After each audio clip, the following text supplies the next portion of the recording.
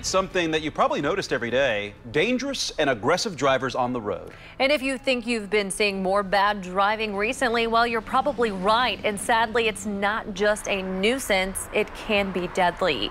According to the National Safety Council, Indianapolis saw a 31% increase in traffic deaths in 2020, while the nation as a whole saw an 8% increase in traffic deaths. And tonight, our Stephanie Wade is showing you firsthand what's happening on the roads. And what IMPD is doing to try to make your drive a little safer. Crashes in the city of Indianapolis have increased this year over 2021. That's according to IMPD. So they're stepping up patrols, making themselves known, and pulling people over who are driving recklessly on the roads. On this Tuesday morning, police are posted up at 30th and Tibbs. Their radar guns are out. We're looking at 42 and a 25 mile an hour zone. And they're stopping people for speeding in this school zone. How you doing? My name's Officer Mitchell with IMPD. My reason for stop, you're 40 miles an hour in the school zone. This after just weeks ago, a seven-year-old girl was killed by a driver while crossing the street at a school crosswalk with her mother. It's horrific for families involved. It is absolutely, you know, horrific for the people involved in the crash themselves. Um, but I'm also sensitive to the fact that, you know, being a, a father and now a grandfather also, as well as being a police officer, uh, for the officers, it's also equally uh, as bad. You know, take that with you.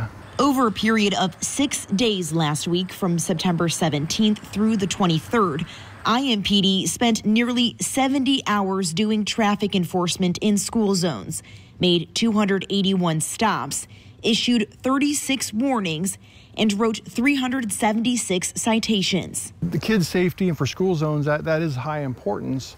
Um, but for somebody who lives in a neighborhood where people are running a stop sign, that's important for them also. So we don't want to diminish that either. We, we do prioritize the best we can because we've only got so much manpower. So we, we, we need to look at the traffic complaints we have and prioritize. Captain Fred Ilnicki says after a year of less traffic on the roads because of the pandemic, and now with people back to work, back to school, and back to traveling, drivers need to slow down and be more patient. The fact that we're losing any lives at all and to lose the life of any child or individual for someone breaking the law is unacceptable. We want that stopped. We want the city to support.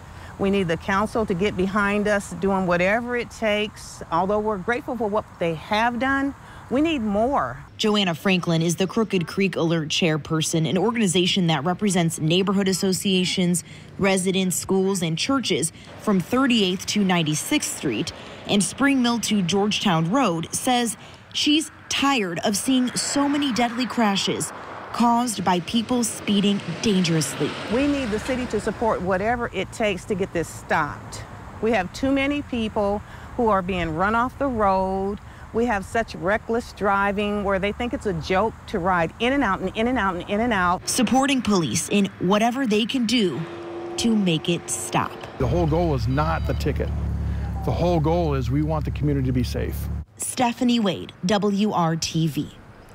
Stephanie, thank you. To report a traffic complaint and ask for more patrols in an area near you, visit the Indy.gov website. Click their services.